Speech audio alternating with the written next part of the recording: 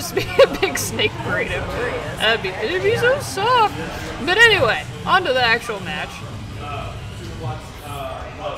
We have Nevik, who is um, uh, he's a Pikachu Libre. He had another character, or he was playing. Yes, he was playing Scizor. Fuma's helping out.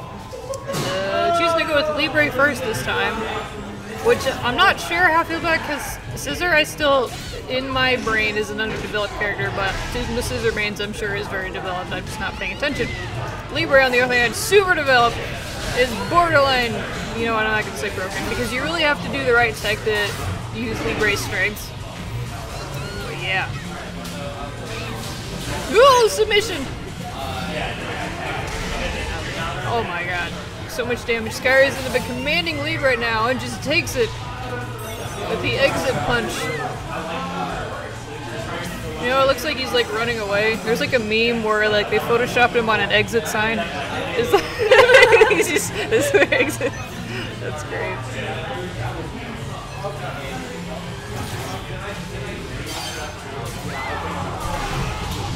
Alright, Nevik taking this first field phase. Guy is showing no fear. Ooh, goes under discharge with scoops. Good job from SkyRasen. Tricks him into submission. That submission is tolerable. It still hurts a lot, but it's not as bad as crit rage burst nonsense. Oh god, it's coming. It's Oh, the champ damage, why? This burst is gonna do so much! Do like three damage! My last four was done. Yeah. Yep, that was it. SkyRasen taking the first game.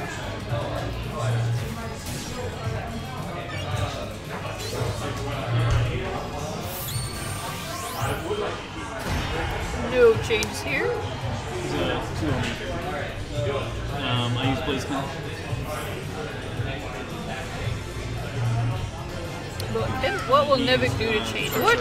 How does one tackle a SkyRasen? Something I haven't figured out. I'm working on it. Yeah, we're working on it.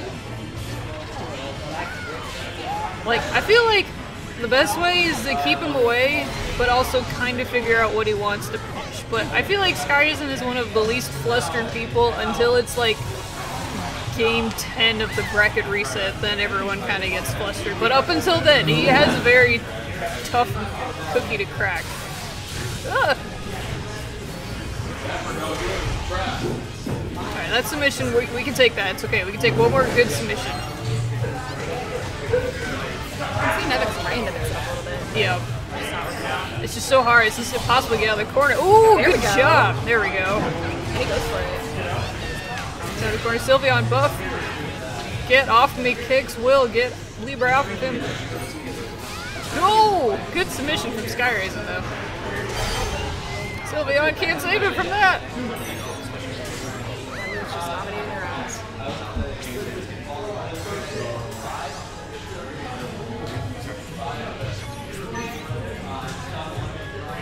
Dominating their with Sylveon though. Did he use last time? I remember. The important thing is he's using Sylveon, which is some people forget.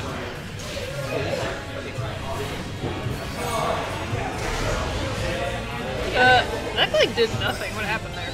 You know, let's make let's make it do less, even more nothing, because we have Sylveon to save us, and we have crit grabs.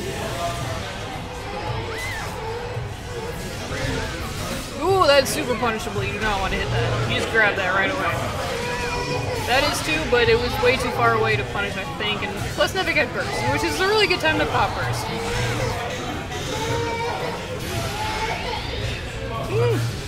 Trying hmm. pop burst. Nevik was just taunting. I don't know if he was doing that on purpose he's just waving at the crowd. I think he's still alive. It's gonna be a tough comeback. And does he still have his burst? Nope. Okay, he was smart. Very smart to get out of the corner. What? Burst is long gone. Woo! What bomb? Though. Yeah. He's doing better mixing up his stuff. It's just, in, in all fairness, SkyRasen's really, really good.